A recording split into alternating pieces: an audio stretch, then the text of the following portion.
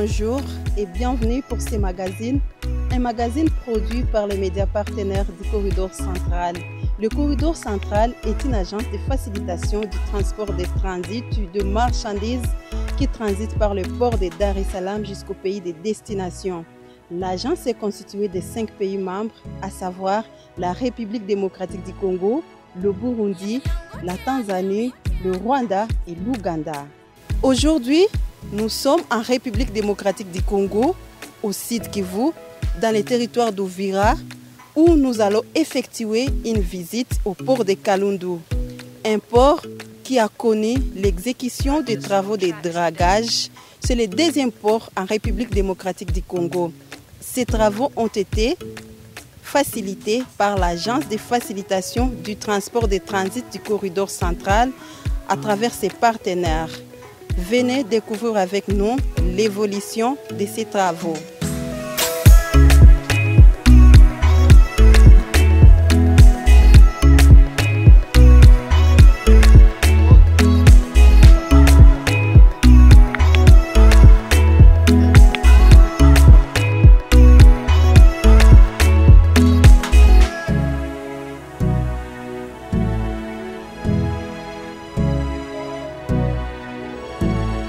Situé à 128 km de Bukavu, dans le territoire d'Ouvira, au site Kivu, à l'est de la République démocratique du Congo, le port de Kalundu est le deuxième du pays après celui de Matadi en province du Congo central. Ce port qui a connu le lobby de l'Agence de facilitation du transport de transit du corridor central pour sa réhabilitation à une superficie de 5 hectares, 74 arts et 21 centiares. Il dispose de deux quais d'accostage. Le premier est d'une longueur de 168 mètres sur 25 et le deuxième est de 180 mètres sur 10. La capacité d'accueil est de 6 gros bateaux de 5 tonnes et de 8 petits bateaux de 3 tonnes.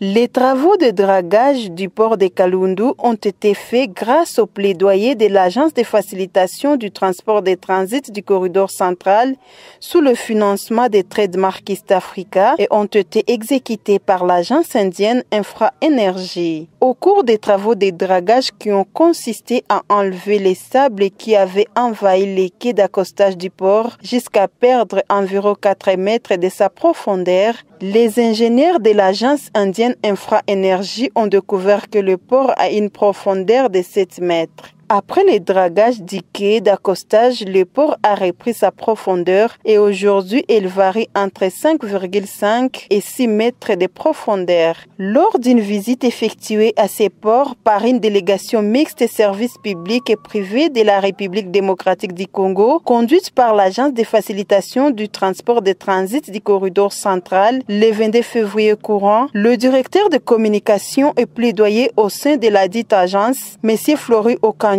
a dit être flatté des résultats des plaidoyers qui ont été menés par sa structure pour réhabiliter le port de Kalundu. Je suis euh, très ravi.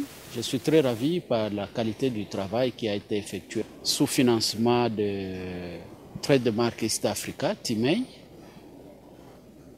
qui a été facilité dans la mobilisation des fonds, dans la mise en contact avec la République démocratique du Congo par l'agence de facilitation du transport de transit du corridor central. Et donc pour nous, en tant que corridor central, nous sommes très satisfaits de la qualité du travail parce qu'aujourd'hui, on était, le port de Kalundu était à un niveau de, d'une opérationnalité qui était très avancée parce que les bateaux n'arrivaient pas à accoster facilement quai à cause du degré de l'abondance et de la quantité du sable qu'il y avait eh, au port de, de Kalundu. Maintenant, parce que cette situation a tué pratiquement le commerce dans les ports, nous avons vu l'urgence et nous avons contribué eh, avec les bailleurs de fonds à la mobilisation des fonds et les travaux de dragage ont eu lieu. Aujourd'hui, nous sommes satisfaits parce qu'on eh, est arrivé aujourd'hui à 6 mètres à 6 mètres de profondeur. Donc maintenant, les bateaux accostent sans difficulté au niveau du port de, de. Et donc c'est un motif de satisfaction en tant qu'agence de facilitation du transport de transit du corridor central. C'est aussi un motif de satisfaction parce que nous avons amené un bailleur des fonds qui est crédible. Nous n'avons pas amené des aventuriers qui sont venus et qui n'ont pas achevé les travaux et qui ont disparu dans la nature. Non, nous avons amené un bailleur des fonds qui s'est engagé, qui a signé avec la République démocratique du Congo et qui a fait un travail de haute facture.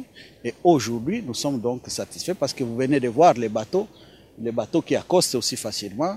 Vous venez de voir derrière moi, et, un peu partout, il n'y a plus de montagnes de sable qu'il y avait à l'époque avant les dragages. Parce qu'avant les dragages, il y avait des montagnes de sable derrière moi là. Mais aujourd'hui, vous voyez que c'est même propre, c'est devenu même agréable à voir. Non seulement agréable à voir, mais aujourd'hui, vous pouvez accoster facilement avec votre bateau euh, qui a une capacité de 1500 tonnes. Donc aujourd'hui, le port de Kalundu, qui est le deuxième port d'importance de la République démocratique du Congo, à part celui de Matadi, qui est le premier, et donc le deuxième, c'est tout de suite le port de Kalundu.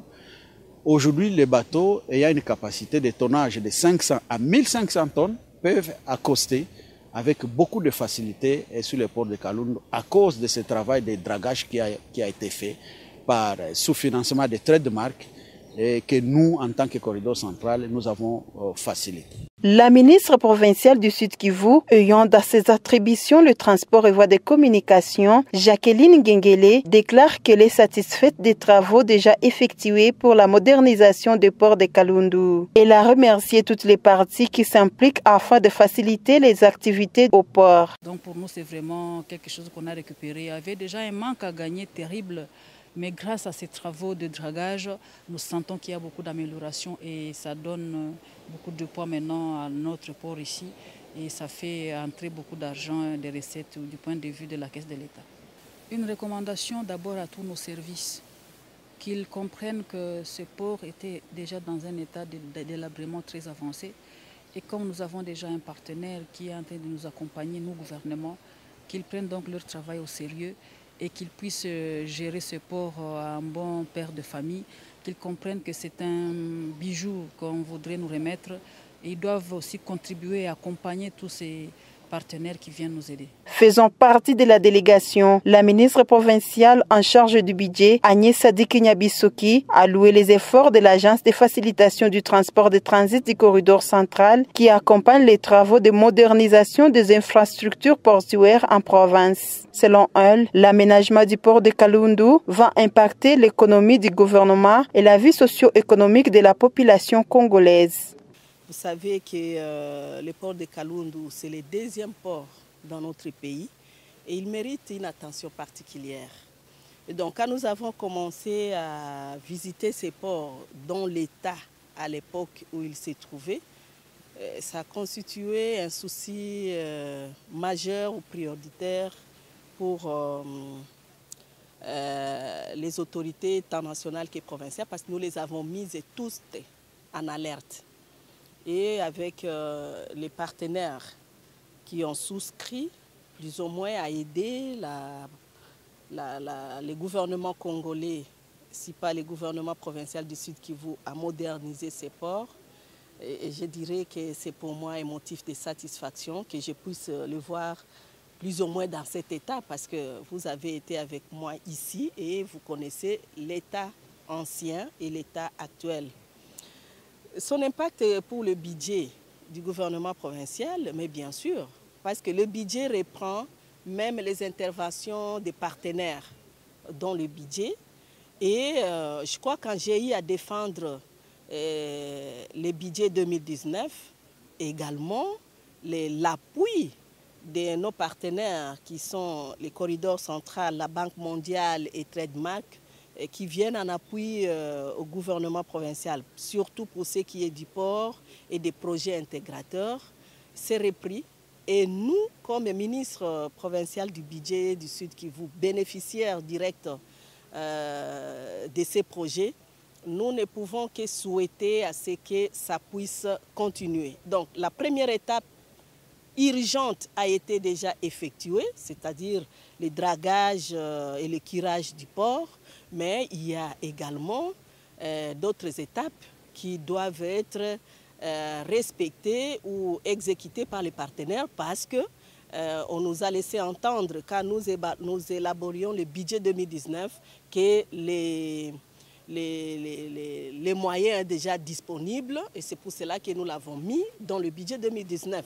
Et le budget a déjà commencé, on est en plein exercice budgétaire, c'est-à-dire nous attendons que les partenaires puissent passer aux étapes qui suivent par rapport à la réhabilitation, si pas la modernisation du port de Kalundu, j'insiste, qui constitue un deuxième port dans notre pays. Les intervenants dans ce secteur, notamment le directeur de la régie de voies fluviales au nord et sud Kivu, le commissaire laquiste au port de Kalundu, le secrétaire de la SALAC nord et sud Kivu et le membre de la Fédération des entreprises du Congo ont dû leur satisfaction pour les travaux de dragage du quai d'accostage du port de Kalundu, travaux qui permettent le mouvement en toute sécurité des navires dans ce port. Nous sommes très jaloux de ce port, très jaloux la façon que nous voyons les bateaux accostés sans difficulté et chacun est, libre. En tout cas, nous, sommes vraiment impressionnés. Si on pensait aussi à draguer notre port de Calémie afin d'éliminer cette liste d'attente qui attend toujours les déchargements, ce serait une bonne affaire. Mais nous sommes impressionnés par le travail qui est fait à Ouvira. Donc, la fois passée, quand on est venu, il n'y avait que beaucoup de sable. Exactement. Actuellement, nous voyons que ce n'est que des eaux c'est bien fait en tout cas. Quand vous parlez de l'impact et de, ma vision par rapport au dragage, d'abord vous avez vu l'impact est vraiment positif. Euh, nous sommes partis pratiquement de 0,1 m jusqu'à 6,7 de profondeur pour permettre euh, bien accueillir les bateaux qui viennent à l'entrée de ce port de, de Kalundu. Mais maintenant, quand il faut parler maintenant des, avantages ou des avantages, euh, j'ai dit il y a un problème, il y a un problème sérieux. Pourquoi? Parce que Ici, à Ovira, il n'y a pas que ces ports qui existent. Il y a aussi les ports privés. Vous remarquez les ports dragués bien travaillés, mais pratiquement vides comme position d'accueil. Il n'y a que des balinières au lieu qu'il y ait des bateaux. Ça signifie que les bateaux ici, qui apportent des grands tonnages, préfèrent stationner dans des ports privés que le port de l'État, qui est le port de la, de la SNCC, qui est fait, qui est dragué. Donc cette inquiétude-là risque d'être longue et en fait, déranger aussi euh, le bon fonctionnement de ces ports, bien que dragués. Donc il faut trouver une solution à ces problèmes. Après le dragage, nous avons constaté que la capacité d'entrée a augmenté. Le port est allé jusqu'à 6 mètres, alors qu'on était déjà à 3 mètres, 2 mètres et demi. Euh, nous lançons un appel à tous les, opérateurs économiques qui œuvrent dans le secteur des transports lacustres de bien venir exploiter le port parce qu'il est vraiment dans les bonnes conditions d'accueil. Euh, qu'est-ce que vous pouvez dire? Est-ce qu'il y a amélioration? Il y a maintenant un mouvement de bateaux sur les ports? Amélioration, oui, je peux le dire. Mais toutefois, euh, il y a des commerçants qui nécessitent d'être appuyés par l'État. Parce que le port de Kalundu ici, on a connu des naufrages. Le naufrage des bateaux Mutambala et le naufrage des bateaux Mama Unja. Nous avons effectivement un nombre de commerçants qui ont disparu. Peut-être si l'État peut subvenir euh, avec une assistance à ces commerçants-là pour que le port soit encore en mouvement comme dans les temps passés. Par rapport au dragage du port public du Kivu, nous, nous, sommes satisfaits et nous voulons que ça soit aussi fait de la même façon sur les ports privés. Signalons que le port de Kalundu est en connexion avec le port de Bujumbura au Burundi, de Kigoma en Tanzanie et Mpulungu en Zambie. Après les travaux de réhabilitation du port de Kalundu, suivront ceux de construction en quatre bandes d'un tronçon d'environ 35 km sur la route nationale numéro 5, soit de Kalundu à Luberizi, un tronçon en dégradation très avancée. Ce sera pour faciliter les transports des clients et de leurs marchandises en toute sécurité. Ce magazine a été produit par les médias partenaires de l'Agence de facilitation du transport des transits du corridor central, une agence constituée de cinq pays membres, à savoir la RDC, le Rwanda, le Burundi, la Tanzanie et l'Ouganda. L'agence facilite les transports en toute sécurité des clients et de leurs marchandises qui transitent par le port de Dar es Salaam en Tanzanie jusqu'au pays de destination. Merci d'avoir suivi ces magazines et au prochain numéro.